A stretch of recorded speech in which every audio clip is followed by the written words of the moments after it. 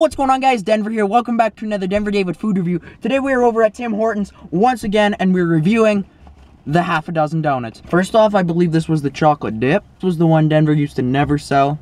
Honestly, I used to tell people not to go for any of the donuts because frankly, any other Tim Hortons people out there, you probably know, unless I did have shitty managers. Our managers used to put donuts in at like 2 o'clock and those donuts used to never get changed. In fact, one time I worked there at 11 or I started working at 9 a.m. Those donuts didn't get changed even after I left. I was working at 9 to 5.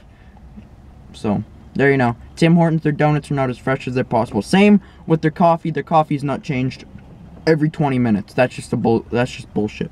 All right, let's go and have a bite of this. How's that donut, Logan? That's good. Mm-hmm. Mm-hmm. Mm-hmm. I gotta say the, the cream ain't that sweet though. It's kind of salty. Next one is the vanilla dip. This one was the one Denver used to have a lot. A lot! This is the one Denver used to sneak on Ray. Let's have her. This one is way too sweet. I don't know how we're gonna do. Let's go and have a bite. I think what this is like just chocolate.